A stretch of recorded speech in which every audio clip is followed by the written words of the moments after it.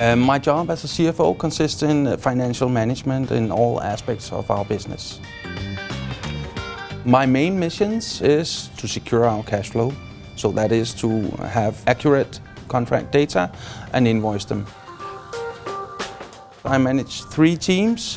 One is accounting, then we have our rental uh, team that handles the contract management and the invoicing, etc. And uh, last but not least, we have uh, controlling, which does all the analysis and performance measurements and reporting for our group. To work as a CFO, it's important to have a set of analytical skills, to be business oriented in order for you to provide the relevant uh, analysis for your business partners.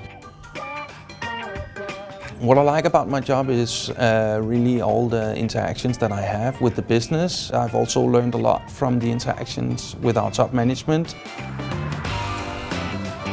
It's also very interesting for me to be CFO of two different countries, that's Denmark and Sweden. It gives me the opportunity to work across cultures. Because of the size, the presence uh, in all the countries in Europe and the, the financial strength of our company, we are also able to be first movers and that's really uh, motivating and uh, stimulating. Klépierre really offers me the opportunity to, to grow personally, uh, both within functions and uh, geographically.